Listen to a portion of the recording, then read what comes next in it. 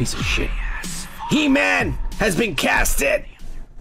A movie that has been being made for the past 25 years since the fucking bomb of the fucking Masters of the Universe with Courteney Cox and Dolph Lundgren, who couldn't even speak American when he fucking did the movie and shit. The dumbass.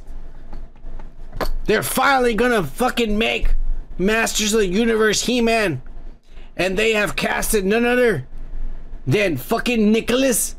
And I'm gonna butcher the shit out of this because this guy's a foreigner. What a pretty boy. The fucking Austrian Nazi motherfuckers over there from the other side of the fucking wall that they tore down in in, in Germany and shit.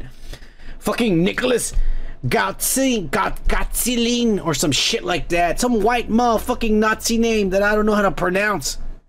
He's the new I have the power He-Man. He's not big enough. Now, mind you, this movie has been like 20 years in the making. So it probably won't come out until 2027. I bet. So this pussy has plenty of time to take steroids and eat a lot of meat. And fucking red meat and fucking uh, and, and and salmon and some chicken. And get some fucking some muscle up here and shit. So you know what? I'm not gonna dismiss it just yet. Cause I'm pretty sure he's tall. I mean, I mean, he's big, but he's no He-Man big. But I think, I think there's potential in this fucking pretty boy right here to be He-Man. I don't remember who's gonna play Prince Albert or the little boy or whatever the fuck.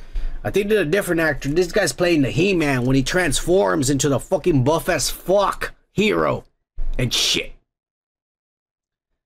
He's definitely got the hair. I'll tell you that he comes out on some woke ass fuck show or movie where there's some guys and spending the summer frolicking naked in the, in the in the lake or some ass. I don't know. I gotta download it. I'm gonna download it for sure because uh, it involves a lot of homosexuality.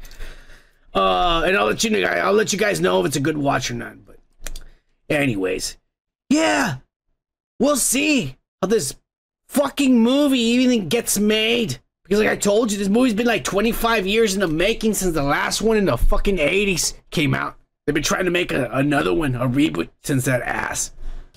And uh the last one that already had started production and then got canceled. They started production where they actually had uh, some sets built and some props. And they had the Battle Cat. They had Battle Cat with armor uh, I wish I fucking had it here because uh, I didn't know I was gonna talk. I didn't know I was gonna remember this and talk about it, so I don't have the image. But it's on the internet. Ain't that kind of channel, dicks. We're, we're not rich. Oh shit! I'm pressing all the buttons. Exactly what I'm saying. We're not rich and famous, so I don't have a white guy fixing all this for me. There's a drunk, fucking high as fuck Hey, if you like this kind of content, how about giving this a like and a subscribe? And if you want to watch the full show, click on the link on the right or check the description.